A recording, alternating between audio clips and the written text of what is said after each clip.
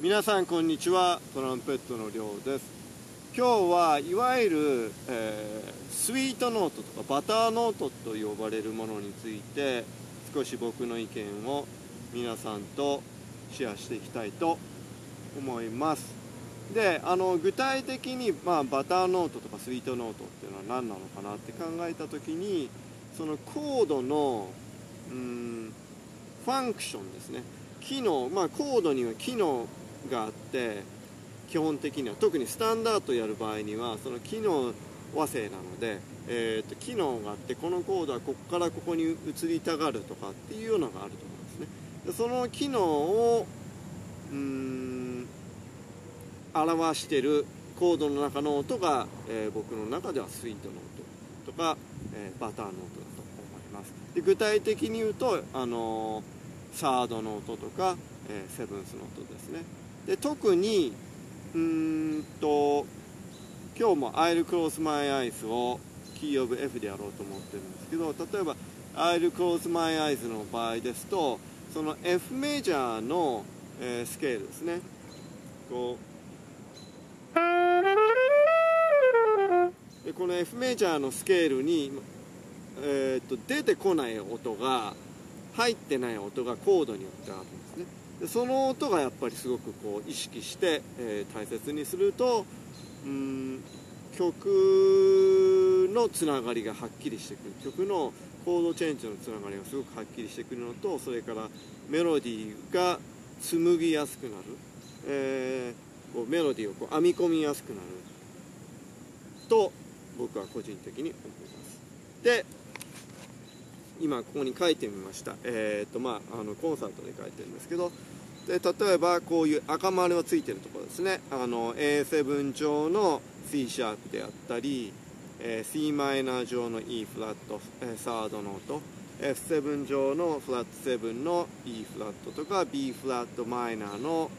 えーと、D フラットなんですね、えーとこういう音を意識することによってあの曲がはっきりしてくる。メロディーが作りやすくなる、えー、というのがあると思います。でちょっと、えー、こんな風に練習してみるといいんではないでしょうかっていうのをやってみますね。まずその僕の中でやっぱりすごくこうメロディーとコードのリレーションシップっていうのがやっぱりすごく大切だと思うのでメロディーを吹いて、えー、アウト・オブ・テンポでコードをアルペジオした例えば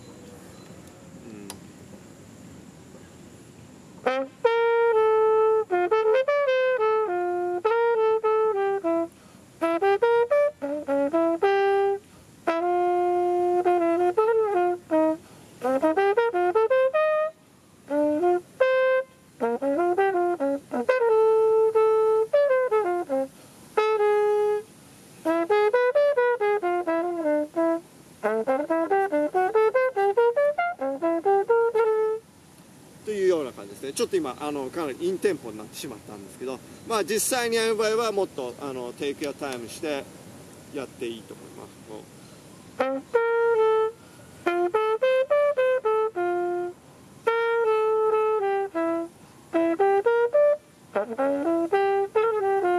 みたいに、えー、ゆっくりやってみるといいでそれが、あのー、考えずにできるようになったら今度はさっき言った赤丸のついてるような音ですね。を意識して、えー、そこをちょっとこう強調してあげるというか伸ばしてあげると同じようにこうアウトオブテンポでやります。そうすると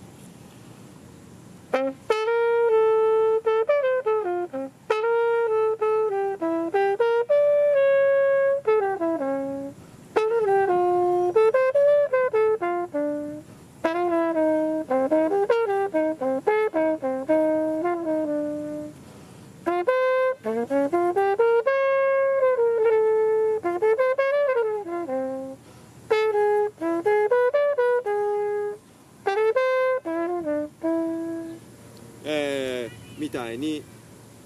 やったわけです。でそれができるようになったら今度はまあコードトーンを基本的に使ってメロディーを吹いてその間を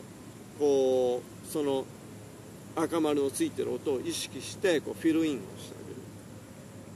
あげる、えー、インテンポですね。そうするとワン、ツー、うん。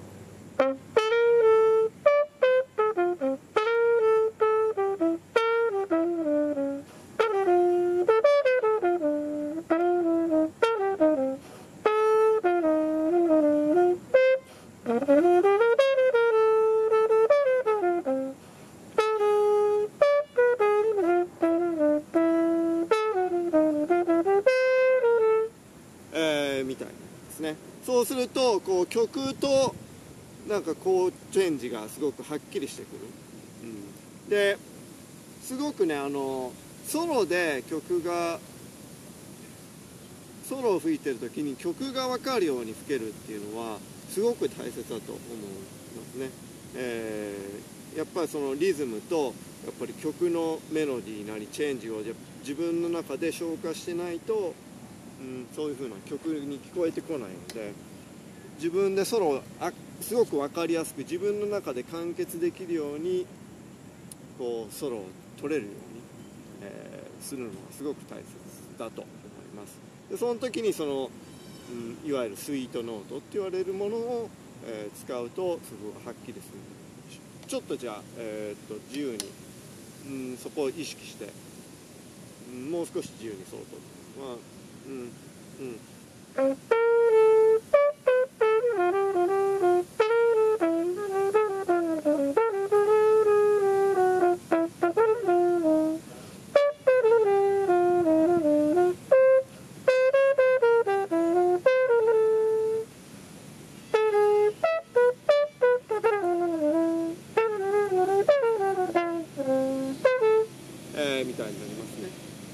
hopefully、uh, you can hear me playing、uh, I close my eyes. OK! というわけで、今日はバターノート、スイートノートというものについて少し僕の意見を紹介してみました。Uh, live from Central Park. Thank you for watching. See you soon. Bye.